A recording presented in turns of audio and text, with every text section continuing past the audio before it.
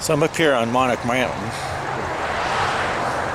We're on our way to uh, Gunnison. We're doing the Gunnison Loop, we're calling it. Um, maybe I'll put a map on here. I'm going to try to put a map on here and show you the loop we're taking.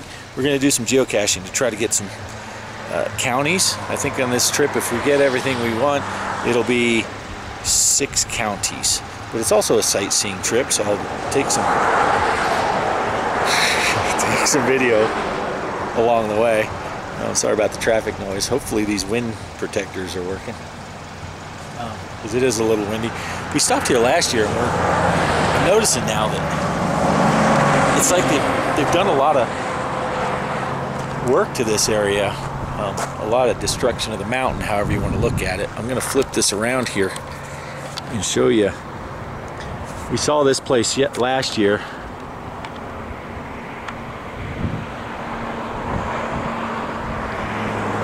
But all this stuff down here was not like that last year, I don't think.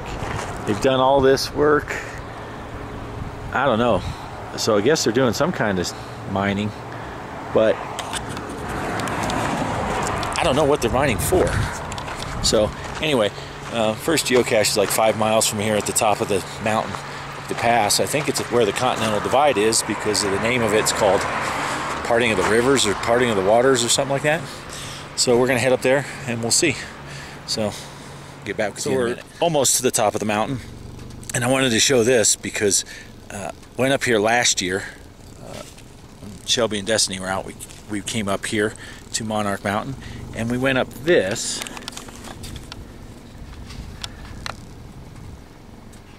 Which is the gondola ride.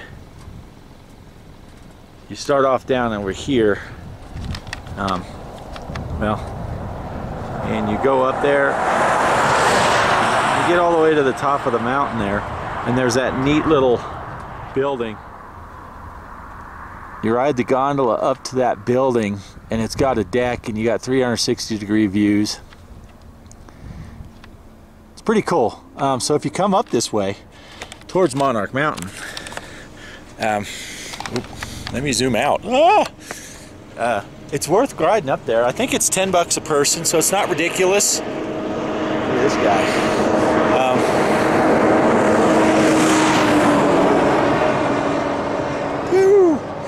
so it's not ridiculous, but it's it's worth the ride up there. So, um, got traffic coming, so it's going to take me a second to get in the car. But all right, next stop is at the geocache. See ya. Okay, we found the first one. Um, I'll give you another angle because it's actually at the base of the mountain where you can ride up.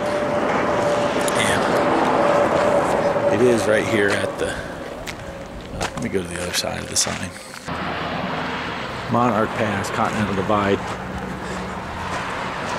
But this is the location. Sorry people. It's got a gift shop and store and all that. And then you ride the says scenic ride. No place in America has the view. Well, no duh. But anyway, and then you ride the gondolas up the mountain. And that building is up there.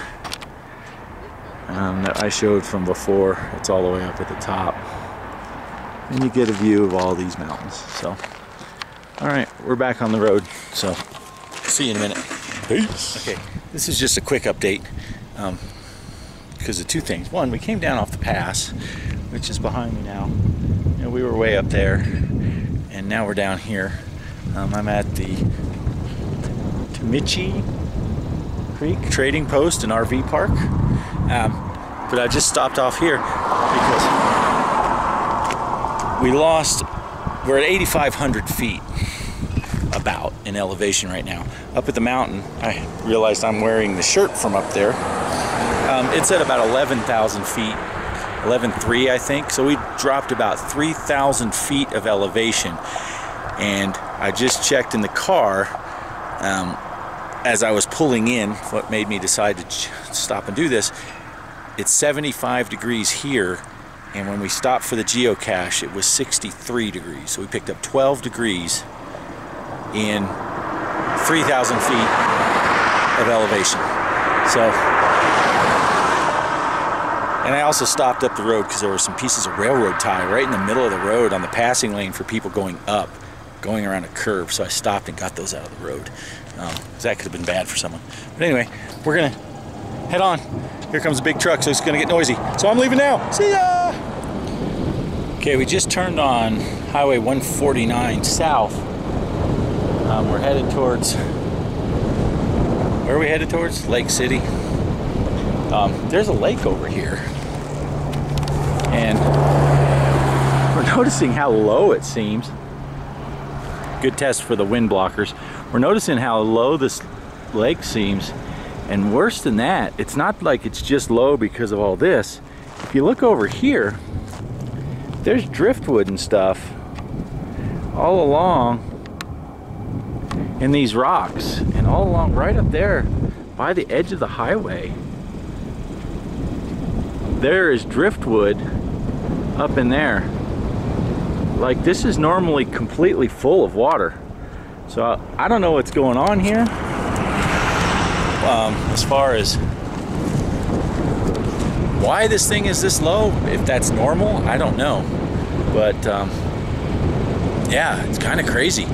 So, but uh, yeah, we're gonna head south. Oh, someone's dog is down there. Um, we're gonna head south, and we got one geocache on the way on this road, and then there's a couple down further. So we'll be back at you later. I just wanted to show you this really low lake. So, peace. Okay, so we stopped at this historic landmark thing. had no idea. We thought there was a geocache here, but it's back that way, about half a mile. So we're not going to go back for it. So we actually passed it and came back. Um, saw the historic markers. This little valley down here, and um, it's kind of famous. So I'm going to walk over there and videotape the uh, the little sign and show you what what this valley is all about. So hang on just a second.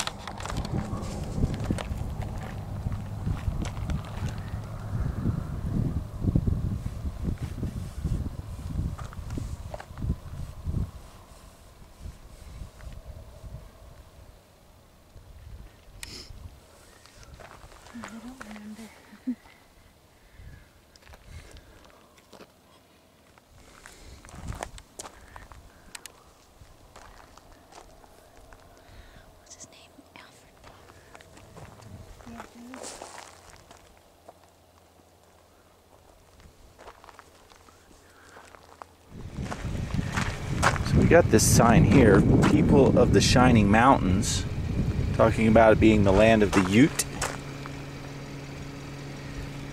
The utes called themselves that apparently. And this is where we're at. Very pretty.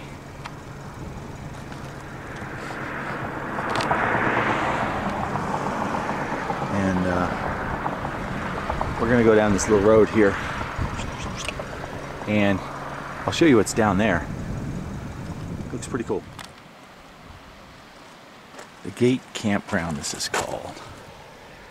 Five dollars per per night per site, I guess. There's the basic rules. This is just a pay honor system. Um, we're not staying the night. We're just taking some pictures real quick and then we're taking off. Apparently they don't want you messing with the fish too bad. But yeah, look at the creek here, the river. This is really beautiful.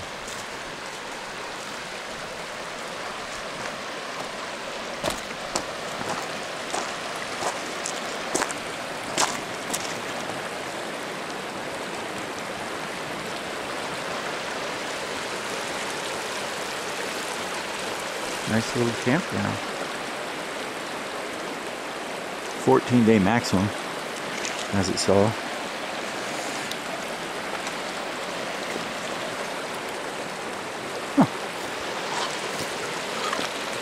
Neat. Okay, so yeah, we just were driving by and happened to see this, mainly because of that. Um, and decided, hey, let's check this out. Yeah, looks like they got You know, picnic tables. Those people down there got their camper going on, solar panels. Little pit toilet area. Um, not bad. Not bad at all. But we're gonna head down the road towards Lake City. Alright, just stopped on the side of the road here. It's called, this geocache was called Rest, Rest for the Wicked. Because it's just a little pull off where you can park. And uh, cache was kind of easy to find. But I figured I'd just go ahead and turn around and show you what it is where we're at. This is kind of neat. Can't see the water. Maybe I can from over here. Oh, yeah, there it is. Oh, there goes a little bunny. Sorry, little bunny. See the water down there. This water is crystal clear up here. Unlike the Arkansas River, which still has not recovered from that flooding from my last video. Looks like there's a house over here. See it there in the trees. Yeah, this is really neat. Cool little area. But anyway, so we're on the way down towards Lake City at this point. So see you in a bit. Woo! Okay, so we're up here on the mountain. Uh, Lake City said it was at about 8,000 feet. I don't remember the actual number. Just check the GPS. It says we're at 9,900 feet. And we are at this Lake San Cristobal Scenic Overlook. A little trail here. So, yeah, so we went up almost 2,000 feet on this road. Here's the trailhead. And let's walk up here and see what this scenic overlook looks like.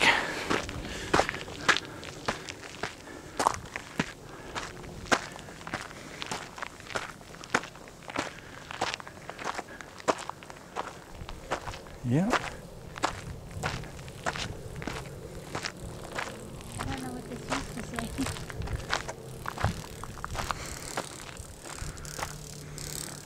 These have worn out pretty bad. um,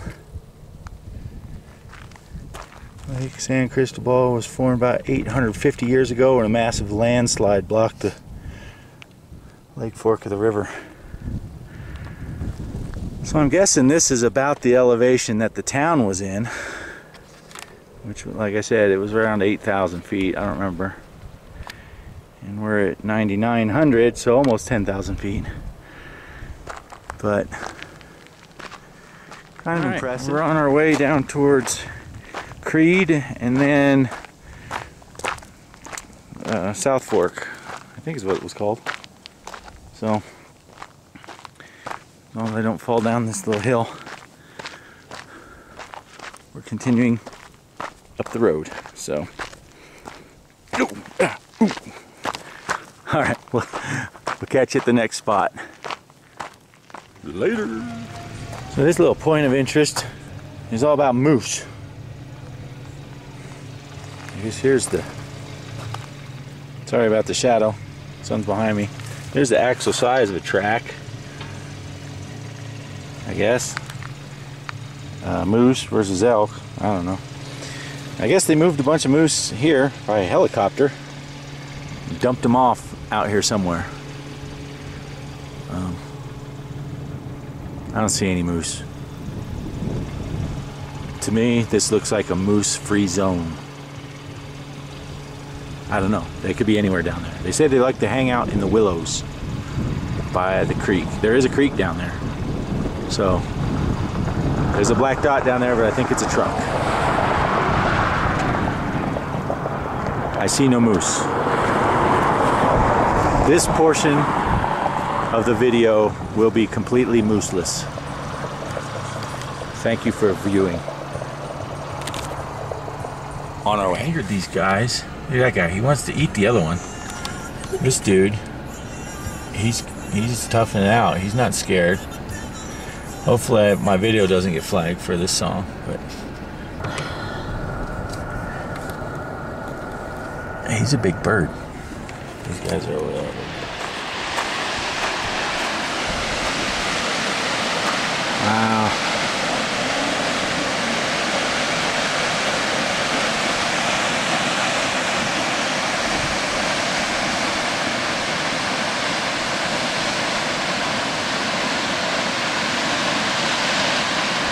Pretty cool. It looks like over here there's another little fall. Another little fall. It's really cool. Huh. Any of you people, hang on. No one wants to see me that close.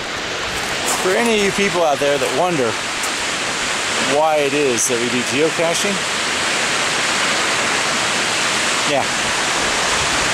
If we didn't do geocaching, for one, we may never even came down this road, and we certainly wouldn't have found this. Um, so I need to thank, uh, should have checked before, the cache owner for placing this geocache here, which is over there, um, for bringing us here. And yeah, anyone who thinks that geocaching is just a waste of time, yeah, you don't know. But anyway, so kudos um, to the person who put this here and anyone else that's lucky enough to find it because of this geocache. So we're going to continue on the way. We haven't even got to Creede yet. We still got to go there and then South Fork. So it's getting close to 5 o'clock at night. Um, have to get at least two more geocaches after this to finish our county goal that we had today. So we're on the road. All right, so we're gonna go through downtown Creede. This lady's got her little house going on. Hello, lady with the house. Maybe that's her house. I don't know. It's kind oh, of cute. The whole little road over there is tiny little houses.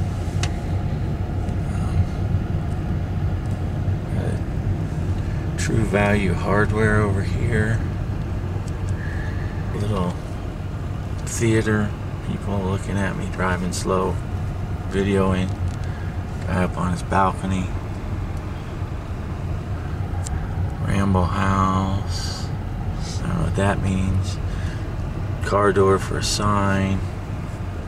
Must be some sort of restaurant here. Pizzeria. Gallery some dude. Creede Trading Company. Oh, I gotta turn here. Sorry. Sorry, people. Um, geocache is saying it's 300 feet this way.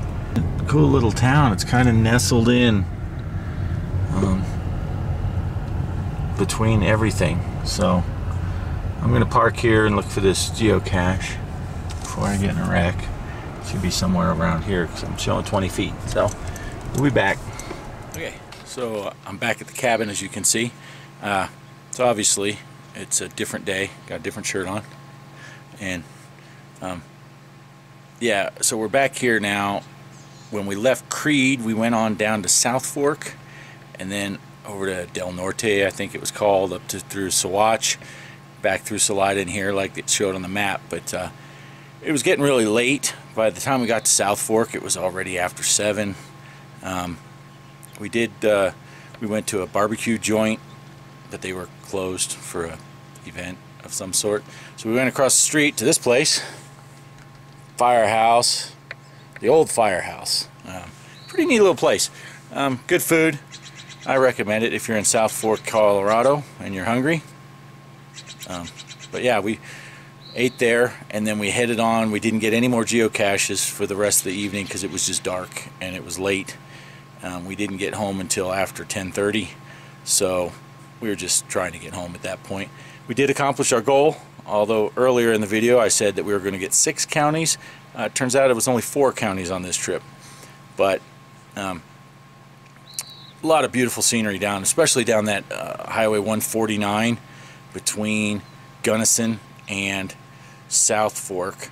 Uh, that's when we went through Lake City and Creede and all that. Uh, just be prepared, at least if you're on Verizon, because you leave Gunnison, you lose your signal. You don't get it again until you're down in South Fork. I think you could get roaming in Creede, but my phone wasn't didn't seem to like it. I don't know. But um, anyway, so it was a good time, but um, not quite as many counties, but we got all the counties we could. So um, I'm going to end the video here. So thanks for watching, both of you that watched this long into it. This is going to be over 20 minutes. Um, I, I had to cut some stuff out. Don't like doing that, but yeah, I'm already at 20 minutes. So anyway, um, thanks for watching. Uh, I guess I'm going to keep doing these geocaching videos, travel videos, until people tell me to stop. But um, yeah, so keep watching. Uh, next trip, not sure where. Think it might be Fairplay though. Um, so tune in next time. See ya.